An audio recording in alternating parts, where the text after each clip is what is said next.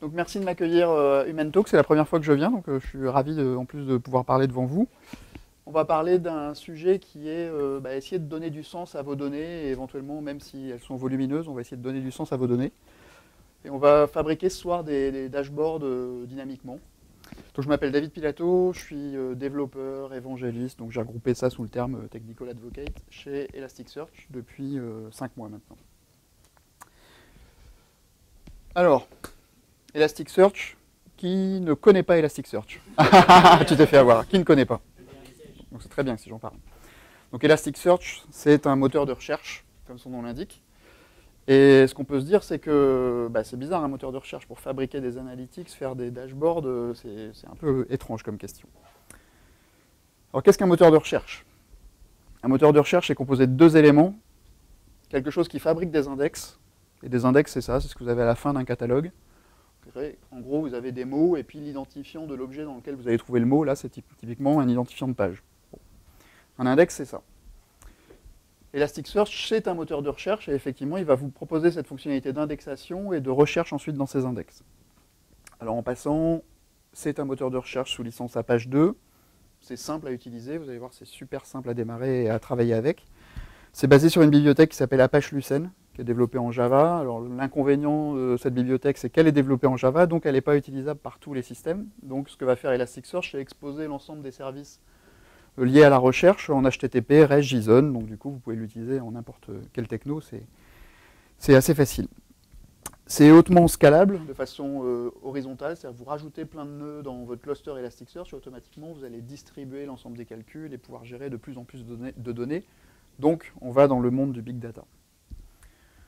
Euh, vous allez bénéficier de la réplication, euh, équilibrage de charge et tout ça aussi.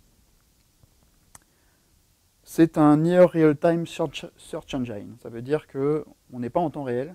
Entre le moment où vous envoyez une donnée à l'indexation et le moment où elle devient cherchable, il y a potentiellement une seconde de latence. Il faut en être conscient. Si vous avez besoin de faire de la recherche temps réel, ce n'est pas le bon outil. Il faut prendre autre chose.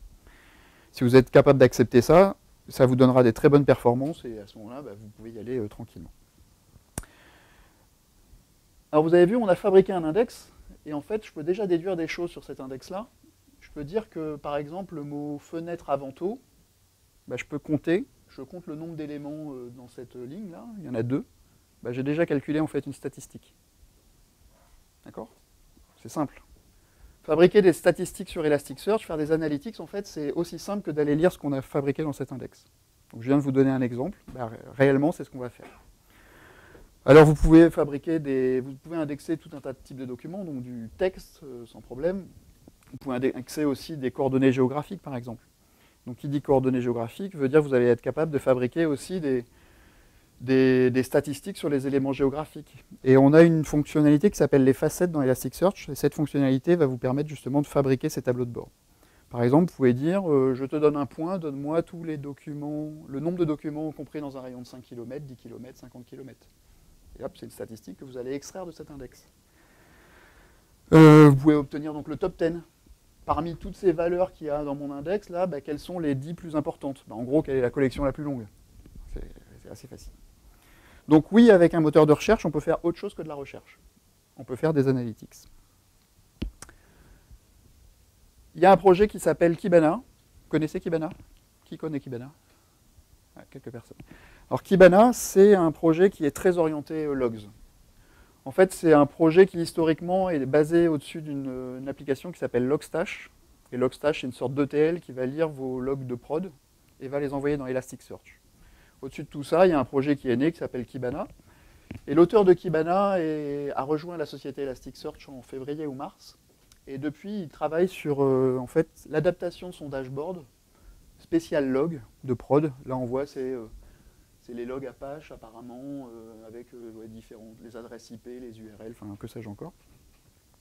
Et en fait, il a rendu ce moteur-là beaucoup plus générique pour être capable de faire de l'analyse de n'importe quoi, finalement. Donc c'est ça, faire, faire parler vos données, leur donner du sens, en fait, eh ben, on va se baser sur cet outil-là pour, euh, pour leur donner du sens. Alors Kibana, la nouvelle version, la, V- la V3, là, elle est aussi sous licence Apache 2. C'est développé maintenant, c'est en pur JavaScript. Avant, c'était du Ruby. Maintenant, c'est du pur JavaScript, donc ça tourne dans le browser. Et c'est fait sur de l'AngularJS. On va faire une démo. Donc tout à l'heure, je vous ai dit Elasticsearch est simple.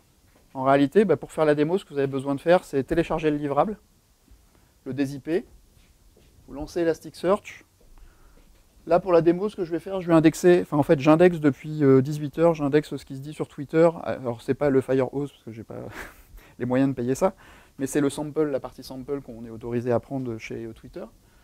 Donc j'indexe, je sais pas combien de tweets, c'est peut-être 50 tweets par seconde, quelque chose comme ça. Donc j'ai juste euh, téléchargé ce plugin-là, et j'ai passé cette commande-là dans Elasticsearch, c'est le seul truc que j'ai fait. Donc quand je vous dis que c'est simple pour démarrer avec, c'est simple. Donc qu'est-ce que j'ai fait là? En fait, je parle en curl avec Elasticsearch ici. Donc curl, c'est un outil qui permet de passer des appels HTTP en ligne de commande. je, passe la méthode, je fais un put, je vais dans une API spéciale qui s'appelle River. Alors je peux parler avec n'importe quel nœud d'Elasticsearch. Si j'ai 20 nœuds démarrés, je prends n'importe lequel et je parle avec. Je vais créer ma rivière. une rivière, c'est un système qui permet de collecter des données euh, quelque part. Donc là, j'utilise une rivière Twitter, donc je collecte des données de Twitter. Il y en a pour Wikipédia, CouchDB, Couchbase, etc. etc. Euh, et je lui passe la structure de mon document. Donc euh, bah, c'est une rivière Twitter et je lui passe mon login et mon mot de passe. C'est pas celui-là, hein, essayez pas. Ensuite, j'installe le plugin Kibana.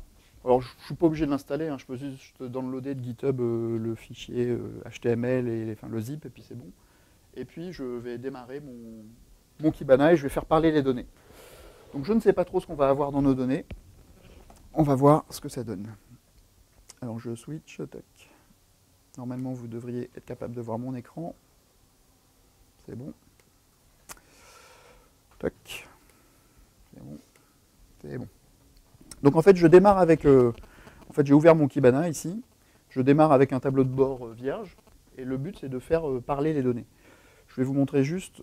Ça, c'est un petit outil qui existe dans... Qui, est fait par la communauté qui permet d'afficher les données de son cluster. Donc ici, j'ai 554 000 documents indexés. Voilà, ça continue à arriver. 318, 378, voilà. Ça augmente. Ok, j'indexe Twitter. Donc maintenant, ce que je vais faire, c'est que je vais fabriquer mon dashboard. Je vais commencer par faire des lignes à la Twitter Bootstrap. Qu'est-ce que je cherche? Ok. Ce que je cherche, ben là-dedans, j'ai besoin de, sans doute une query. Donc, euh, il faut que je rentre du texte. Donc, je vais mettre par exemple 4. Je vais faire multi-query si je veux. Puis donner un petit titre. Ok.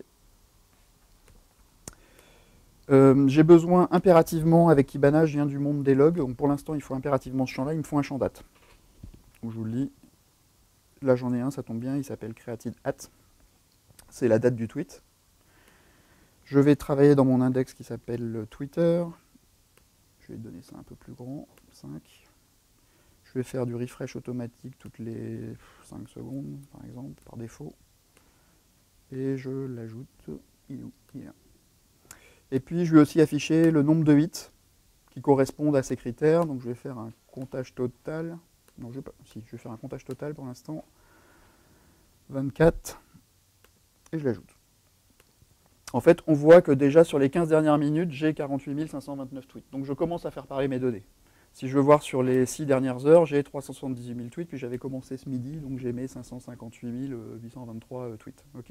donc je navigue ici dans mes données, je, vais voir à l'intérieur. Je peux chercher quelque chose, je ne sais pas, je veux chercher Obama, s'il y a quelque chose sur Obama. Il y a 39 tweets sur les 15 dernières minutes, 118 sur la dernière heure, dans ce que j'ai extrait comme information. Hein.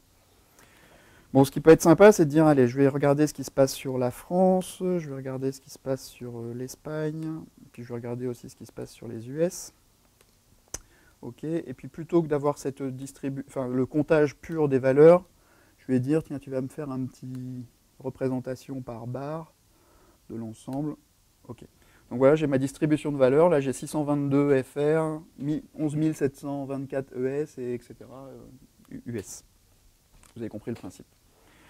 Bon, bah, je vais faire parler un petit peu plus mes données maintenant. Je vais construire euh, d'autres analytics. Je vais faire hop, une analytics. J'ai combien de minutes en tout? 10 hmm. Alors, je vais vous montrer le résultat final après, comme ça, ça ira plus vite. Mais en fait, le but, c'était de le construire live, donc c'est pour ça. Donc je vais faire un histogramme de date, je vais vous montrer ça avec des lignes.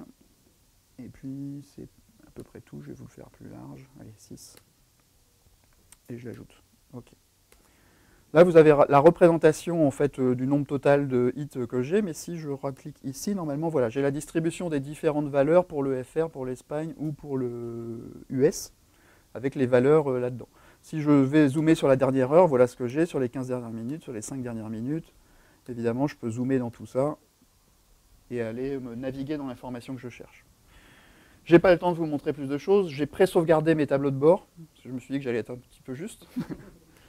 Donc j'en ai enregistré. Donc je vais rajouter par exemple, je vais vous afficher aussi euh, le tableau de résultats.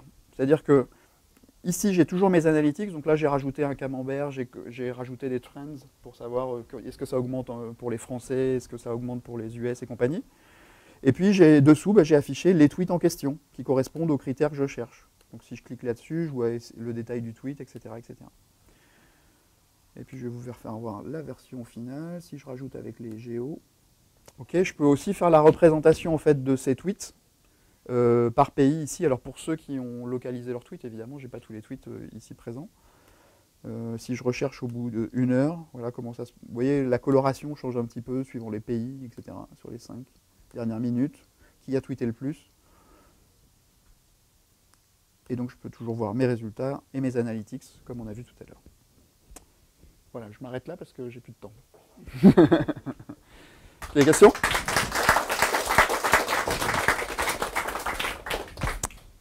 Ah oui, normalement, je dois passer à ça. Et voilà, les questions. Est-ce que vous avez des questions puisqu'il me reste C'est ça, jusqu'à 15 Ouais, ok. Donc allons-y, 3 minutes. Allez, 3 minutes de questions. Juste derrière toi, excuse-moi. Là, en fait, on se met à l'écoute de Twitter et euh, la rivière, en fait, le principe de la rivière, c'est qu'elle va euh, se mettre à l'écoute de l'API Twitter qui permet de, qui offre ça. Si tu fais du couche DB, par exemple, c'est pareil, c'est du push des couches DB mis à jour, paf, ça se déverse dans Elasticsearch. Si tu fais du JDBC River ou du File System River, par exemple, le File System River, lui, c'est toutes les minutes, il va faire du polling. Il va aller voir si toutes les minutes, il y a quelque chose de nouveau.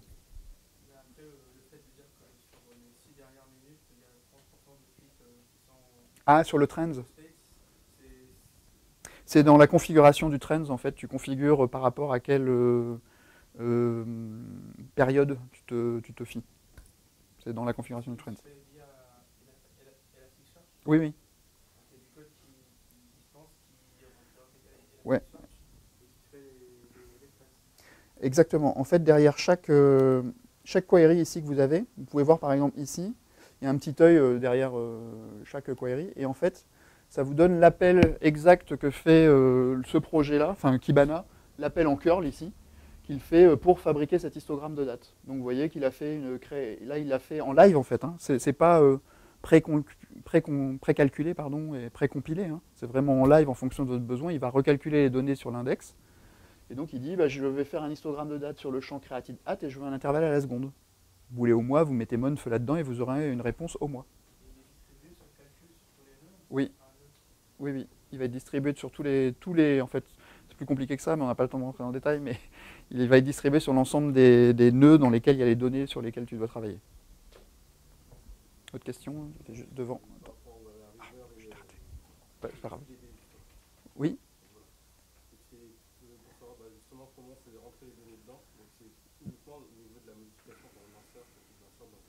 Non, en fait, tu as tous les événements qui sont pris en compte, tu as le insert, le update, le delete. Donc dès que tu fais une mise à jour dans CoucheDB, automatiquement, il y a l'API change en fait de CoucheDB qui existe. Et ben, Elasticsearch ne fait que écouter l'API change de CoucheDB.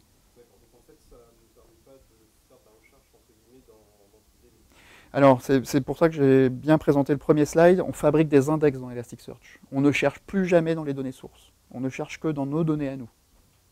D'accord? C'est comme dans un bouquin. Quand tu cherches dans ton bouquin euh, Castorama, une fois que tu as indexé le mot fenêtre, tu ne vas plus jamais parcourir l'ensemble des pages pour essayer de trouver le mot fenêtre.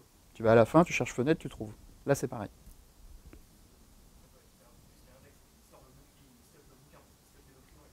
Tu peux aussi stocker les, documents si tu veux. Je ne veux pas rentrer dans le détail, mais effectivement, tu peux. Par défaut, c'est stocké et on vous conseille de garder le stockage d'ailleurs.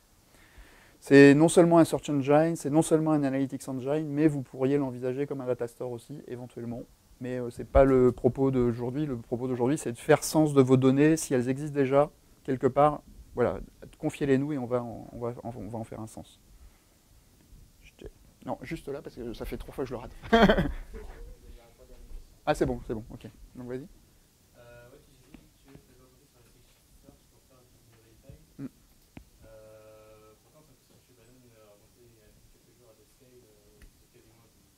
C'est du near real time.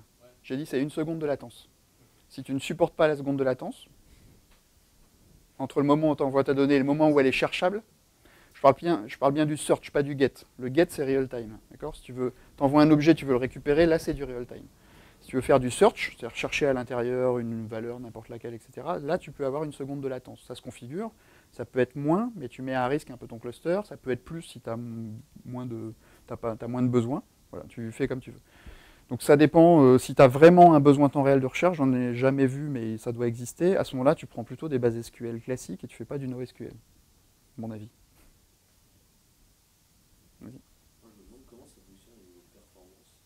Bien. Ouais. Ça veut dire que depuis 5 heures, il y a des trucs qui s'indexent. J'ai 500 000 tweets, ouais. Mm. En fait, c'est même même pas en deux minutes parce que deux minutes, c'est le temps que je manipule l'info. C'est vraiment en temps réel. C'est-à-dire que mes dashboards, il n'y a rien de précalculé. C'est pas du MapReduce comme on ferait avec d'autres outils. On doit précalculer des machins ou faire des vues dans Couchbase ou CouchDB. C'est vraiment du, ouais, du temps réel. Donc ça se passe plutôt bien. Euh, après, la clé du succès, là j'ai très peu de données, 500 hein. 000 données, c'est que dalle pour Elasticsearch. Euh, c'est quand tu vas passer à des centaines de millions de données que tu vas commencer à te poser peut-être des questions sur la façon dont il faut tuner ton cluster. Là, j'ai pris des trucs par défaut, toutes les valeurs par défaut, euh, je ne me suis pas posé de, questions. Et j'espérais que ça tienne, mais bon, c'est bon. Vas-y.